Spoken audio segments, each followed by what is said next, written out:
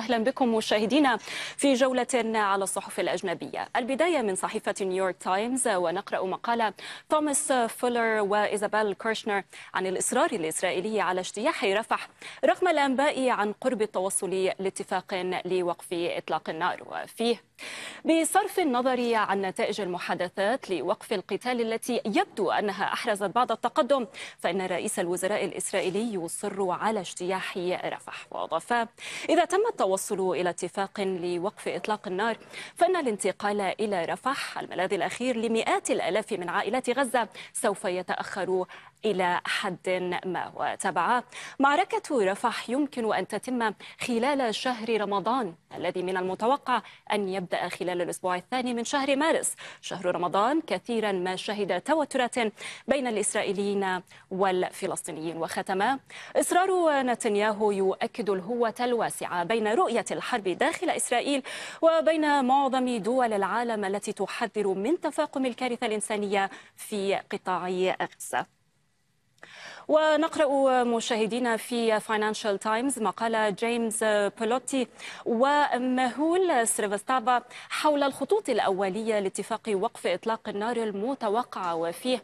مع إعلان الصحف الإسرائيلية أن مجلس الوزراء الحربي وافق على الخطوط العريضة للصفقة تبدو واشنطن أكثر تفاؤلا بقرب الاتفاق. وأضاف التفاصيل لا تزال غامضة لكن من المرجح أن يتبع الاتفاق معايير تبادل المحتجزين بالأسرى في نوفمبر حيث تم مبادلة أكثر من 100 محتجز بمئات الأسرى الفلسطينيين. وتابع أي تبادل للمحتجزين سيتم تحت غطاء وقف إطلاق النار الذي سيستمر خلال شهر رمضان وسيكون مصحوبا بزيادة في المساعدات الإنسانية لقطاع غزة. وختم رغم ذلك فإن واشنطن متخوفة بشأن التقارير المتعلقة بخطة غزة ما بعد الحرب التي تبنتها إسرائيل والتي من شأنها إنشاء منطقة عازلة بين إسرائيل وقطاع غزة.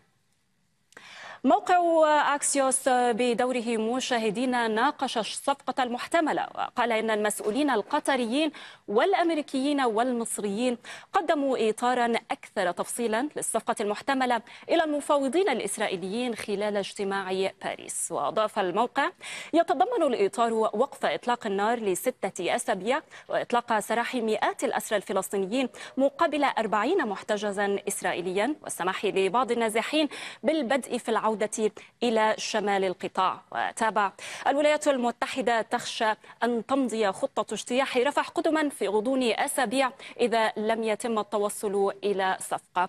ونقل في المقابل تصريحات نتنياهو أن الصفقة ستؤخر مؤقتا اجتياح رفح ولن تكون بديلا للعملية العسكرية على المدينة.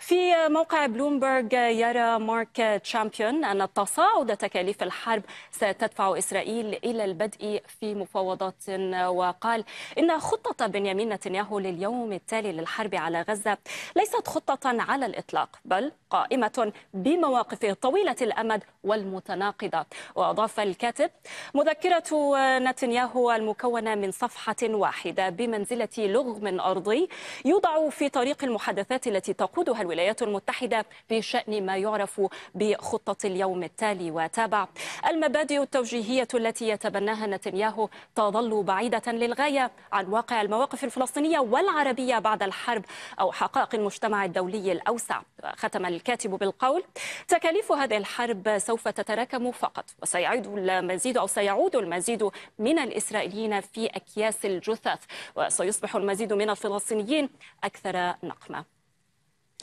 ونقرأ مشاهدينا في صحيفة واشنطن بوست مقال ديفيد إغناتيوس عن مؤشرات نحو اتفاق لوقف إطلاق النار. وفيه أن الصفقة التي يحاول مدير ال CIA التوسط فيها لن تحل أيا من الأسئلة الكبيرة المتعلقة بإسرائيل والفلسطينيين لكنها على الأقل ستجعل الوضع الكارثي في غزة أقل سوءا. وأضاف أن قضية الأسرى هي المأزق الرئيسي في المحادثات وسد هذه الفجوة لن يكون سهلا. وتابع الكاتب بالقول إن المساومة المكثفة بشأن صفقة محتملة تعكس إحساس إدارة بايدن بأن الحرب على غزة ربما تصل إلى نقطة انعطاف أخرى مع اقترابها من شهرها الخامس. وختم الكاتب بالقول واشنطن ترى أن الحصول على فترة توقف لمدة ستة أسابيع تقريبا قد يمكنها من بدء عملية أوسع لخفض التصعيد في الشرق الأوسط. ونختم مشاهدينا بمقال جوتام كونفينو وتوني درايفر أو دايفر في صحيفة التلغراف حول تبعات الإعلان عن التوصل لاتفاق وفيه.